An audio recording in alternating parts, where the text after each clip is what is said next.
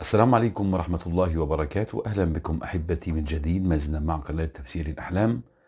الحمد لله والصلاة والسلام على رسول الله صلى الله عليه وسلم. أيها الإخوة الكرام دعاء إذا تم الزواج.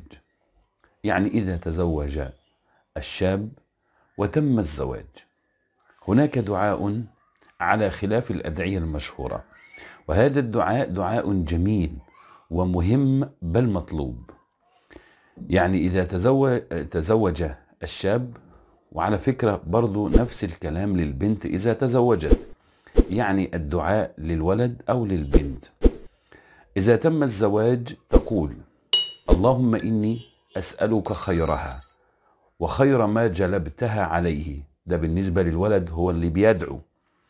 وأعوذ بك من شرها ومن شر ما جلبتها عليه يا أرحم الراحمين.